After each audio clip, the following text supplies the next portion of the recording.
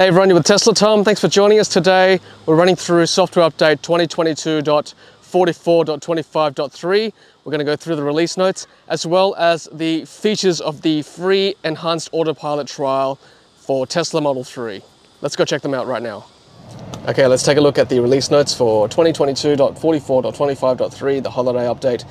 Apple Music. So now you've got Apple Music. So if we press this icon here, then if you've got a subscription to Apple Music, then you can uh, use it on the Tesla now, and you can select from all the audio inputs from there as well now. Next one is dog mode. Um, you can look at the interior of the car from uh, your app now, so let's go check that out right now. Okay, so to get this working, you've got to go to dog mode, so uh, put the uh, climate controls up and put it on dog mode right there, and then we'll step outside the vehicle and check out the internal camera. Okay, so we're outside the vehicle now, so there it is. Joy's inside the car. Let's see whether we can see her on this uh, internal camera. That's me there. Let's press the internal camera. There is Joy. Hopefully you can see that. Yep, that's Joy waving.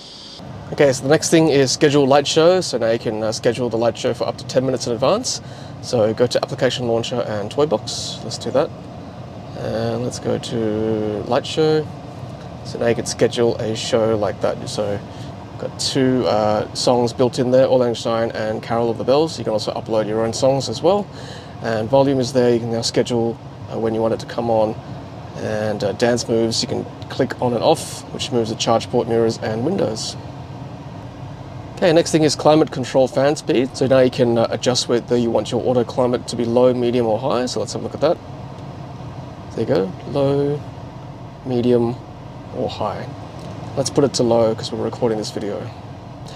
Automatic indicator mode, so uh, as soon as you finish your lane change, fork or merge, the uh, indicators will turn off automatically. So let's have a look at that. Controls, lights, automatic indicator mode. We've got it on auto cancel. We'll test that out later on. Mahjong in the games. Confirm phone call transfer. The car will ask you whether you actually want to transfer the phone call from your phone to your car. Improvements to the contacts as well as uh, recent calls and favorites as well as the calendar as you can see here. And media controls are now on this side here. So it used to be along or the bottom there, but now it's on the right, all compact and compressed there. And you can now switch like that so you can see the current drive since the last charge and the odometer. And also the tire pressure is easily accessible as well on this as well, so that's very handy. And emissions testing mode via the mobile app. So there's my phone there. I'll put the uh, fart icon there press it now.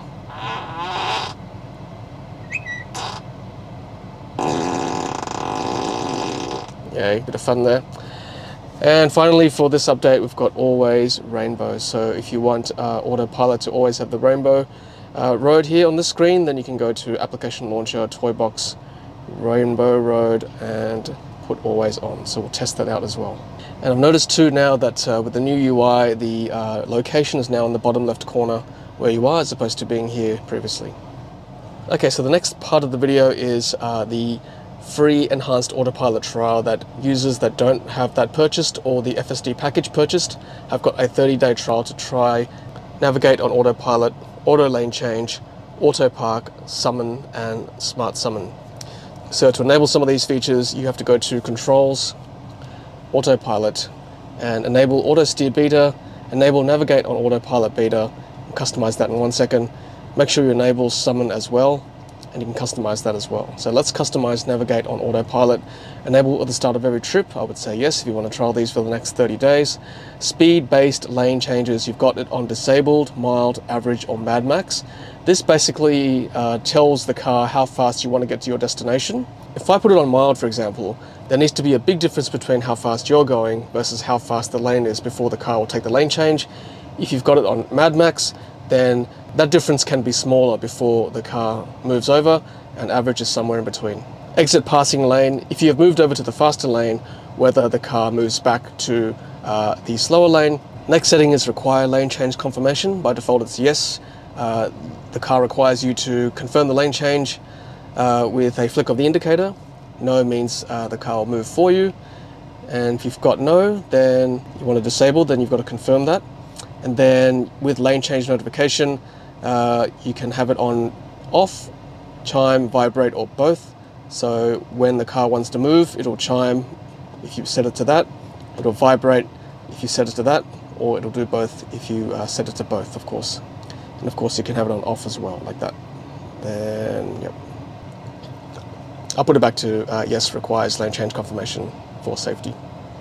Okay, let's have a look at customized summon. So there's two types of summon. There's standard summon and also uh, smart summon. So summon is basically in a straight line forward and back. Smart summon is uh, the ability to take turns around a car park, for example, which we'll test out in a moment. So let's have it on customized summon. Let's have a look. So you can adjust things like bumper clearance, summon distance, uh, side clearance, whether you want it tight or standard, how close the walls are allowed to be. Uh, require continuous press, I would say yes to make it safer. So you've got to press the app, which I'll show you in a second. And if you've got HomeLink, which is the garage opener, then you can uh, make it so that the HomeLink garage door opens at the same time as well. So bumper clearance, you can uh, set it further away if you want uh, to be a bit safer, like that, for example, up to 120 centimeters. And the tightest it can be to the front of your obstacle is uh, 20 centimeters. And summon distance, uh, it can reduce it all the way back down to three meters, or if you're feeling adventurous, then 12 meters is the maximum for uh, the standard summon. And the final two features are auto lane change, which we'll demonstrate a bit in a second, and also auto park, which we'll demonstrate as well for you.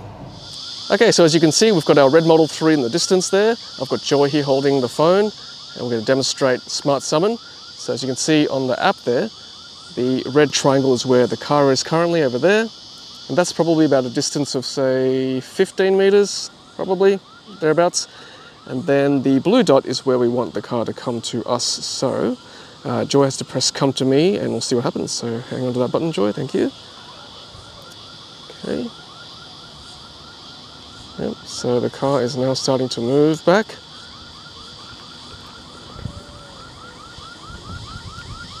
Let's see where it ends up.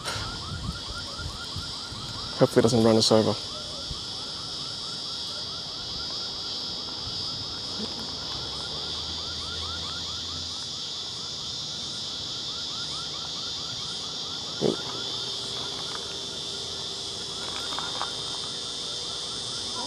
Yep, I think the car's happy. Lights are flushed.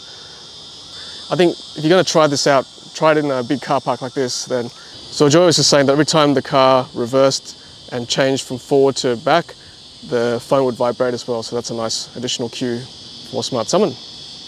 Okay, now we're going to try basic summon. So the car's over here, and on the app we've got forward and reverse buttons. So we'll get Joy to hang on to the forward button there.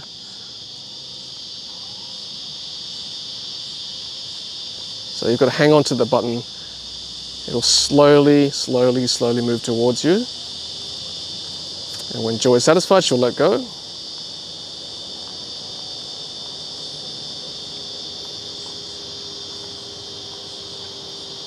That's. I, I don't. I stopped that, but I, I mean, I don't know if I just continued holding it, whether it would. It's Run like 20 centimeters to my feet. Yeah. I, I'm not going Yeah, to that's- risk a car going 20 centimeters. That's for about 60 centimeters, so I would be the same as Joy. I wouldn't move too much further. So that was fairly responsive, like probably half a second before it stopped. Okay, so now we're going to reverse. So Joy's going to press the reverse button for us. Thank you.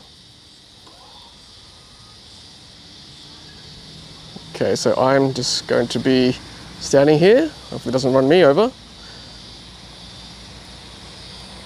It's getting closer. Okay, I think Joy let go of the button. That was her. Phew, okay, thank you for not running me over. So there we go, that's reverse summon. Okay, so you might ask, what is the use of the Smart Summon and Summon feature? Smart Summon potentially, if you've got shopping in a car park and it's raining, you could potentially summon it close to you instead of you getting wet, but I would be very careful with other cars around, of course. And with just basic summon, forward and reverse, if you potentially have a tight space like a small garage, then that's where it could come in very handy, I suppose. Okay, so now I'm going to demonstrate to you the auto park function.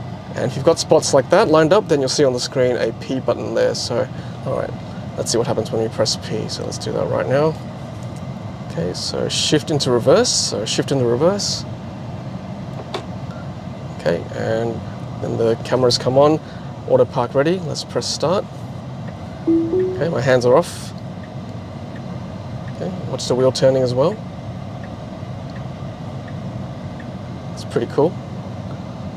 Let's see how good this job is. Okay. Okay.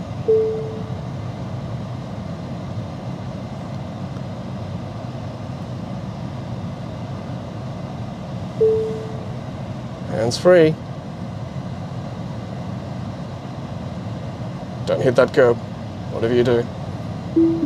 Okay, ding dong means it's good. All right, let's go check it out outside to see. It did a good job, so I'm still recording here. No cuts. Okay, so there we go. I'll let you guys decide how good you think the job was. Definitely within the lines. Within the lines as well on this side, so that's pretty good. Let's see how good it is at the back here. Yep, that's a very good job. I'm going to give that 10 out of 10. And yeah, good job there, Autopark. All right, so we're just about to hit the uh, road to demonstrate the uh, lane change function, but uh, before we do that, I just want to talk about Navigate on Autopilot once again.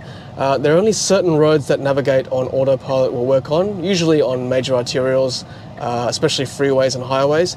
You'll know when it's uh, on and available when this symbol comes on, this blue icon there. That's the NOA icon. You can turn it off like that by pressing it once, or when the blue flashes on, that means it's available. And to engage navigate on autopilot, it's the same as engaging autopilot, which is double tapping on the right stalk there, and away you go.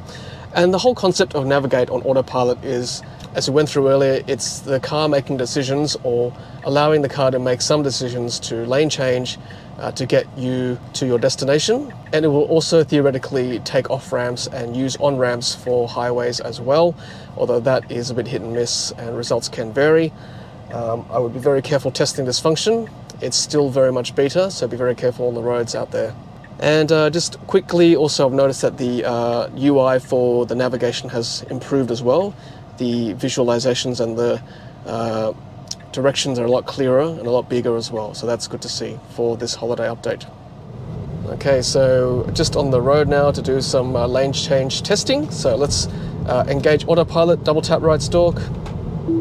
Okay, cut the rainbow road now because we engaged that before and uh, we will try to demonstrate some uh, lane changing for you. And to do that, you're essentially uh, acting as if you're changing the lanes manually, which is just flicking the indicator left and right. So let's uh, flick the indicator right now. Let's see what happens there. You've got the monitor coming up, and then the car wanting to go to that lane. And you can uh, match the speed to the posted speed sign by pressing down on the right stalk there and see how my max autopilot speed is now the same as the posted speed sign.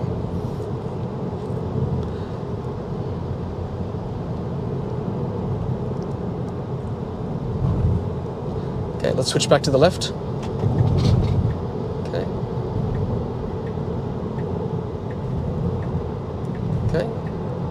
So I always have my hands kind of on the wheel anyway, just to be safe, to take evasive maneuvers if necessary.